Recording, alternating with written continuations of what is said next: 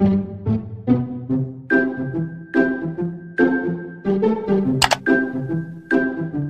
တော့ကျမကအခုဆရာမင်းသူဝင်ရဲ့အချစ်အကြောင်းလေးနည်းနည်းလေးပြောကြည့်ချင်တယ်ကျမတို့ကဆရာကြီးမင်းသူဝင်ဆိုလို့ရှိရင်လေဆရာကြီးရဲ့ကလေးကဗျာတွေကျမတို့သိတယ်နော်ကလေးကဗျာတွေသိတယ်ပြီးတော့ဆရာကြီးကလူကြီးတွေအတွက်ရေးဖို့ចောင်းသားတွေအတွက်ရေးတဲ့ကဗျာတွေလည်းကျမတို့သိတယ်ဥပမာတပြေညိုဆိုပါစို့ကျမခဏခဏရွတ်ဖူးတယ် အဲ့တပြေညိုကဗျာကိုကျမတို့ရွတ်တဲ့အချိန်မှာစိတ်ထဲမှာခွန်အားတွေရှိလာတယ်တက်ကြွလာတယ်မျောလင့်ချက်တွေအပြည့်ပဲတပြေညိုလေးကျမအရင်ရွတ်ပြမယ်နော်တပြေညိုကျမလွန်ခဲ့တဲ့10နှစ်လောက်တုန်းကလည်းဒီတပြေညိုကိုစပြီးတော့ရွတ်ခဲ့ဘူးတယ်ဆရာကြီးမင်းသူဝင်ကအဲ့တပြေညိုကဗျာကိုရေးတာဟာကျမတို့လွတ်လပ်ရေးကိုမျှော်တဲ့သူတွေအတွက်ရေးတာကျမတို့အခုချိန်မှာမျှော်လင့်ချက်တွေအပြည့်ပဲ ကျမတို့မျှော်ရတယ်အဲ့တော့မျှော်လင့်ချက်တွေအပြည့်ပဲမျှော်နေတဲ့အချိန်မှာဆရာကြီးရဲ့အဲ့ဒီကြပြလေးကကျမတို့အတွက်ကိုတကယ်ခွန်အားတွေပို့ပေးလိုက်တယ်လို့ပဲအားလုံးရမယ်လို့ထင်တယ်မင်းသူဝင်ဆိုရင်မသိတဲ့လူမရှိဘူးเนาะဟိုးအရင်တုန်းကမင်းသူဝင်ကိုနည်းနည်းဝါတာတာဖြစ်နေတဲ့သူတွေတောင်ဥထင်ကျော်တမတာဖြစ်ရင်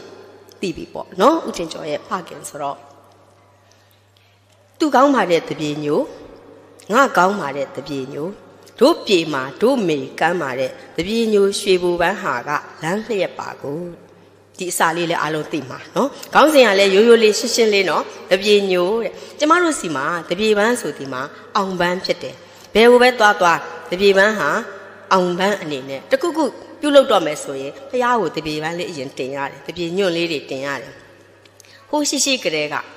တပီပန်းဟာကျမတို့အတွက်အောင်ပန်းမယ်ဆိုတော့ဆရာကြီးကလည်းအဲ့ဒါကိုရည်စူးပြီးတော့ရေးလိုက်တာဖြစ်မှာပေါ့တပီညိုနော်သူ့ကောင်းပါတဲ့တပီညိုမိန်းကလေးတွေပေါ့နော်ယောက်ျားလေးတော့ပါကြမပါမယ်ဒါပေမဲ့တစ်ခါတစ်ခါကျတော့လေယောက်ျားလေးတွေကိုပဲကြီးစဲသောအဖြစ်မိန်းကလေးကတပီပန်းလေးကိုဒီနေရွက်ကလေးမှထိုးလိုက်ရင်ဒီယောက်ျားလေးကဖြတ်ပြစ်လို့မရဘူးဒါဆိုဒါချစ်ချင်းမြတ်တာနဲ့ထိုးပေးတဲ့တပီပန်းလေးနော်နားရဲ့အထက်မှာပန်မယ်ဆိုလဲပန်ကြပါ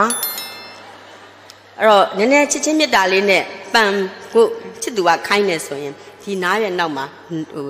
ကလစ်ကလေးနဲ့ဖြစ်ဖြစ်တချို့ကြကလစ်တောင်မရှိပါဘူးနားရဲ့နောက်မှာပဲဒီလိုလေးထိုးပေးလိုက်တာရှေ့ရှေ့ကစ်တုန်းကတော့အဲ့ယောက်ျားလေးတွေကိုလည်းအဲ့လိုအထူးသဖြင့်စစ်တပ်ကိုထွက်တော့မယ်ဒီခေတ်စစ်တပ်မဟုတ်ဘူးနော်အရင်တုန်းကစစ်တပ်ရင်တုန်းကစစ်တပ်ကိုထွက်တော့မယ်စစ်ထွက်တော့မယ်ဆိုတာနဲ့တပည့်နဲ့တည်းတရားတော်စစ်အောင်မြင်ပါစေလို့ တကယ်တော့တရားသောစစ်တို့မတရားသောစစ်တို့တာပြောတာတဲ့စစ်ဆိုတာကောင်းကိုမကောင်းဘူးဒါပေမဲ့အဲ့ဒီကိတုံကတော့အဲ့လိုပဲရှိခဲ့တာကိုဘိုးကျော်အောင်ဆန်းတီထောင်ခဲ့တဲ့တက်မတော်ပေါ့အဲ့တုန်းကလည်းတပီပန်းလေးတွေကိုပန်းအဖြစ်ကုန်းပြီးတော့ကြာတင်ပေးခဲ့တယ်သူတို့ဒီဒီ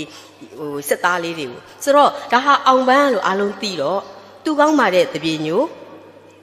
ငါကောင်းပါတဲ့တပီညို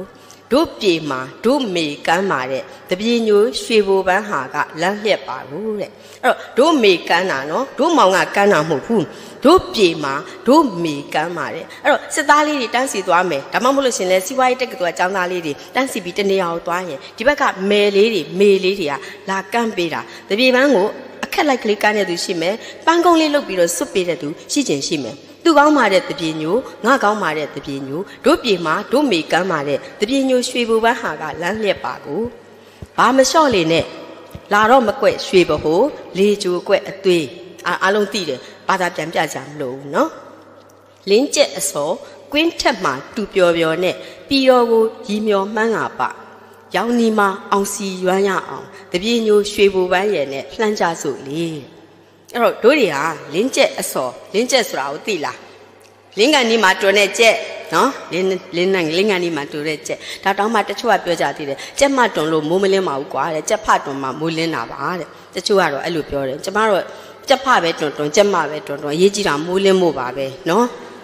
ဒါတွေဒါတွေလာပြောမနေနဲ့မိမတွေတက်တက်ယောက်ျားတွေတက်တက်လာပြောမနေနဲ့အခုဆိုကျမကျေနပ်တာဒီအမျိုးသမီးလေးတွေကြားထဲမှာလည်းအမျိုးသားလေးတွေတွေ့ရတယ်နော်မျိုး